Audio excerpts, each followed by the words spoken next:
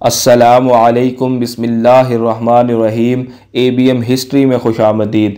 Jeffrey Preston Bezos यानी Jeff Bezos Amazon के बानी और सीईओ हैं, जो 112 बिलियन डॉलर्स के साथ इस वक्त दुनिया के पहले अमीर तरीन शख्स हैं।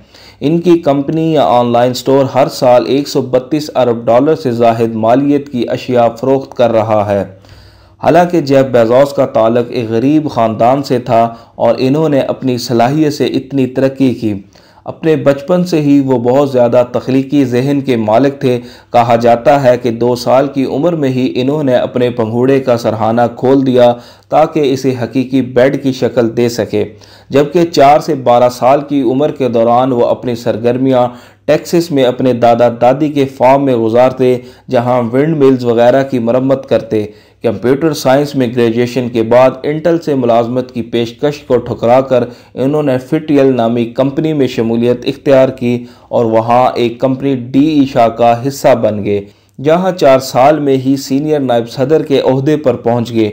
1994 में इन्हें एक मजमून से इल्म हुआ कि इंटरनेट की तोसी एक साल में तेईस फ़ीसद तक हुई और इन आदाद शुमार ने इन्हें दंग कर दिया, जिसके बाद इन्होंने इससे फ़ायदा उठाने का ज़रिया तलाश करने का फ़ैसला किया।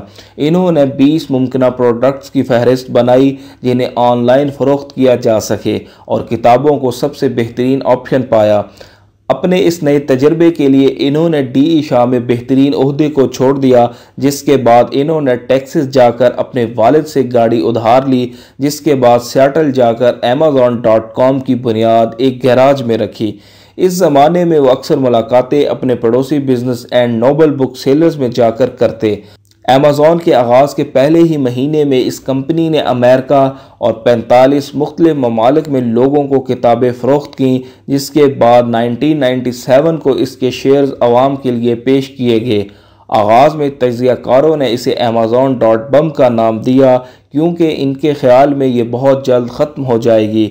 ताहम आज ये दुनिया भर में किताबों से लेकर बहुत सी चीज़ें ऑनलाइन फ़रोख्त कर रही है और अपने क्याम के बाद इसके असासों की मालियत कमो बेश पाँच सौ अरब डॉलर्स तक पहुँच चुकी है।